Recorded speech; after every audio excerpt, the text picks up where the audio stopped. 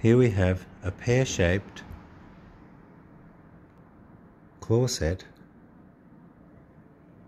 beautifully understated, simple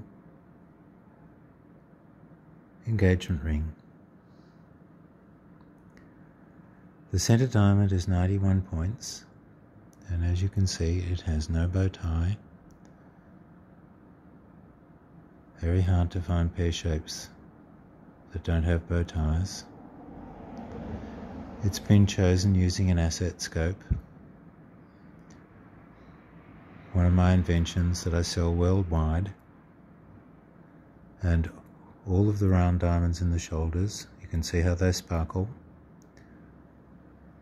They've all been chosen with an ideal scope.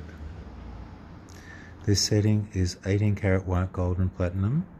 As you can see the diamond is 0.91 carat GSI1 high clean. It has 12 diamonds, 6 on each side, that weigh 36 points in total.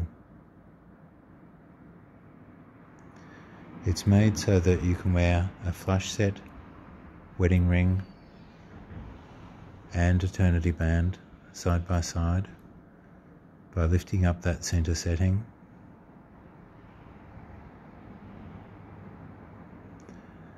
And this pear-shaped diamond actually appears to be larger than almost all one carat round diamonds.